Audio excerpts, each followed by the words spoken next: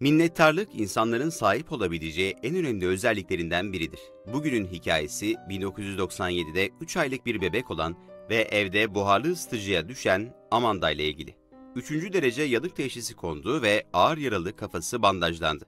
Yanan bebeğe kendisine karşı çok şefkatli ancak bu hikayenin manşetlere çıkmasını beklemeyen genç bir hemşire bakmış ve 38 yıl sonra şok olmuş.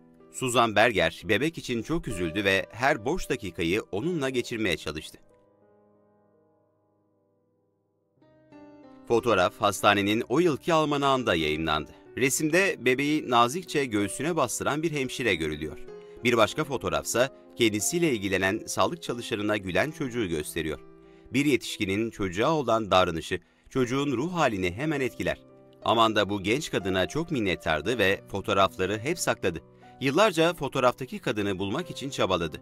Bu eski küçük hasta ne zaman o fotoğraflara baksa aradığı umudu ve mutluluğu bulurdu. Okulda yüzündeki yara izleri nedeniyle alay konusu oluyordu ve birçok ameliyat geçirmek durumunda kaldı. Ama hala o hemşireyi bulamamıştı. Resimde ne yazık ki hemşirenin adı veya soyadı yazılı değildi. Ama Amanda onu bulmayı çok istiyordu ve şansını sosyal medyada denemeye karar verdi. Hikayeyi ve fotoğrafları Facebook'tan paylaştı ve ertesi gün bir cevap aldı. O genç hemşirenin adı Susan Berger'di. Onunla aynı hastanede çalışan biri tarafından tanınmıştı. 20 yıldan fazlaları yapılan aramalar meyvesini vermişti. Artık adı ve soyadı olduğu için aramak daha kolaydı. Sonunda Amanda koruyucu meleğini bulmayı başarmıştı. O zaman hemşire 21 yaşındaydı ve yanıklar içerisinde ona gelen Amanda onun ilk hastalarından biriydi. Suzan artık bir okulda müdür yardımcısıydı.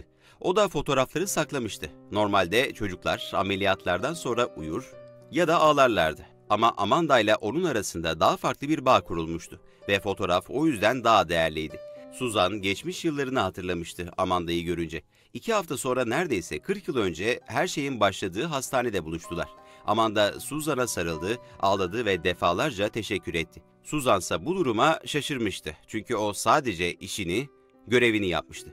Amanda hayalleri gerçekleştiği ve kurtarıcısına sarılıp teşekkür edebildiği için çok mutluydu. Her iki kadın da bu buluşmadan çok mutlu ayrıldılar. Size iyilik yapan insanları unutmayın. Minnetsiz insanlar kendileriyle aynı karakterde insanları kendilerine çekerler ve bunun sonu iyi bitmez.''